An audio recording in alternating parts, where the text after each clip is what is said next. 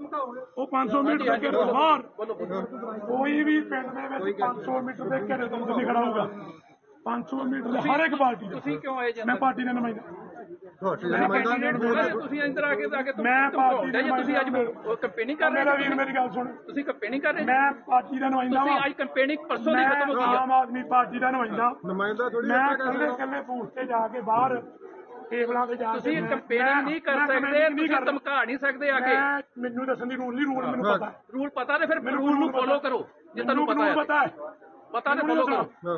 Follow ਕਰੋ। ਕਿ ਪਤਾ ਹੈ ਤੇ ਸਾਨੂੰ ਵੀ ਪਤਾ। ਮੈਨੂੰ ਪਤਾ। ਸਾਨੂੰ ਵੀ ਪਤਾ। ਸਭ ਪਤਾ ਕਿ ਸਾਨੂੰ ਵੀ ਪਤਾ। ਜੀ ਵੀਡੀਓ ਨੂੰ ਠੀਕ ਹੈ, ਠੀਕ ਹੈ। 500 ਮੀਟਰ ਦੇ ਐਡਵੋਕੇਟ ਨੇ। ਮੈਂ ਸਾਰੇ ਪਿੰਡਾਂ 'ਚ ਜਾਣਾ ਵਾ।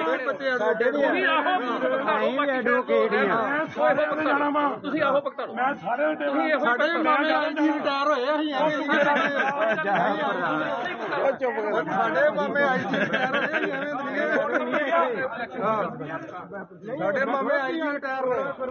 ਆਈ ਜੀ ਨੇ ਡੈਨ ਰਿਆ ਤੇ ਫਿਰ ਕੀ ਹੋ ਗਿਆ? ਆਈ ਜੀ ਨੇ ਡੈਨ ਰਿਆ ਤੇ। ਕੋਈ ਨਹੀਂ ਕੋਈ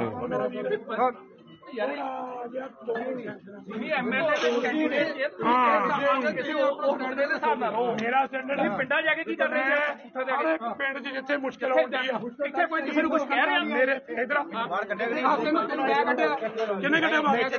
ਤੂੰ ਕੋਣ ਮੈਂ ਅੱਜ ਪੋਲਿੰਗ ਏਜੰਟ ਕਿੱਥੇ ਦਿਖਾਇਆ ਉਹਨੂੰ। ਦਿਖਾਏ ਫਾਰਮ ਕਿੱਥੇ ਆ? ਦਿਖਾ ਬੜਾ ਫਾਰਮ ਅੰਦਰ।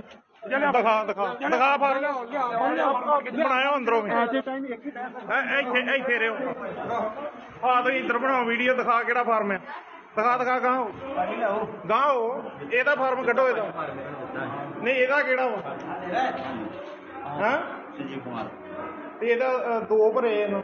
ਆਹੋ ਇਹਨਾਂ ਦੀ ਗੁੱਡੀ ਬੈਠੀ ਨਹੀਂ ਨਹੀਂ ਉਹ ਤੀਜਾ ਭਰਿਆ ਇਹਨਾਂ ਮੁੰਡੇ ਦਾ ਇੱਕ ਦਾ ਹੋਰ ਦਾ। ਨਹੀਂ ਬਾਰਡਰ ਤੇ ਨਾਲ ਲਿਖਿਆ ਨਾਲ ਪਾਉਂਦੇ ਤੁਸੀਂ ਦੇਖੋ ਇਹਦੇ ਕੋਲ ਸਾਈਨਰ ਲਾਏ ਮੜੇ ਜੇ ਇੱਥੇ। ਇੱਥੇ ਸਾਈਨਰ ਲਾ। ਥੱਲੇ ਸਾਈਨ ਕਰ ਅੱਲਾ ਕਰ ਸਾਈਨ ਕਰੇ ਕਰੇ। ਆ ਕਰ ਕਰ ਕਰ। ਇੱਧਰ ਇੱਕ ਮਿੰਟ ਇੱਧਰ ਇੱਧਰ ਇੱਧਰ ਆ। ਆਪ ਕਰਾਂਗਾ ਮੈਂ ਤੁਹਾਨੂੰ ਲਿਆਉਣਾ ਇੱਕ ਮਿੰਟ।